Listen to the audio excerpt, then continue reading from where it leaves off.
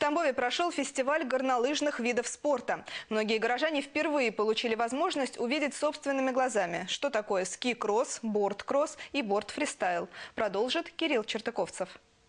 На горнолыжной трассе в районе Лосковского карьера не протолкнуться. Людей с досками и лыжами множество, но лишь единицы заявляются для участия в соревнованиях. Остальные – зрители. Но тоже не прочь попробовать пройти все виражи нелегкой трассы. В зачете соревнований на склон вышли 50 спортсменов. Причем наряду с тамбовчанами выступали горнолыжники из Липецка. Атмосфера очень хорошая, я очень удивлен вашим оборудованием, то есть у вас хороший уже уровень у ребят. В общем, одни позитивные эмоции. Эти виды спорта пока не столь популярны на Тамбовщине, но год от года все больше молодых людей приходят заниматься горными лыжами и сноубордом. Объяснение лежит на поверхности. Уже четвертый сезон в Тамбове есть оборудованный склон и специальный горнолыжный подъемник. А в снеге у нас недостатка, как правило, не бывает.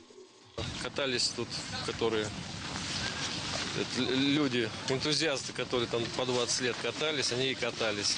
А вот сейчас начался развиваться тут вид спорта. Молодежь сама друг друга подтягивает. Первые соревнования по горнолыжному спорту родились не спонтанно. Представители Тамбовского отделения Федерации горнолыжного спорта и сноуборда России давно вынашивали эту идею и, заручившись поддержкой городской администрации, воплотили ее в жизнь. Нужно почаще, во-первых, проводить такие соревнования. Вот, потому что такие соревнования вот первые проходят, ну, достаточно хорошо получается, организаторство у нас удачно получилось.